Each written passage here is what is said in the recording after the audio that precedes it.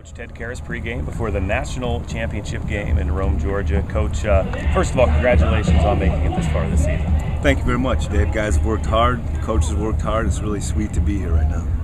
And you face a Morningside team today, undefeated, uh, third-ranked team, uh, one of three undefeated teams in the regular season. Just talk about your overall impressions of this squad. Well, very well coached. Coach Ryan's done a heck of a job. You know, he's been there 10 years. Nine of those years they've been in the playoffs. They have a really good offense, physical offensive line, really good quarterback. We're going to have to contain them defensively. They're only giving up 11 points a game. Let's talk a little bit about their quarterback, uh, Dixon, a dual threat guy. What are some of the keys, generally speaking, to stopping a dual threat? Joel Nixon's a complete player. You know, this is his first year playing quarterback. Uh, he's played receiver before, and he's really stepped on and did a nice job. We got to keep him in the pocket. We got to try to sack him and hit him as, much, as many times as we can to be successful.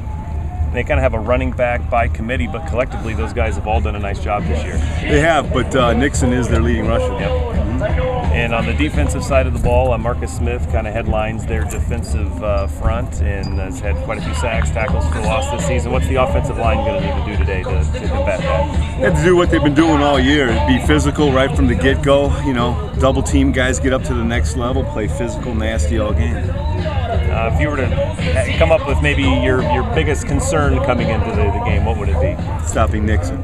Okay, fair enough. uh, so, uh, two or three keys to victory today? Running the ball effectively, good play action, no turnovers, solid special teams are some of the big keys, and then containing Nixon.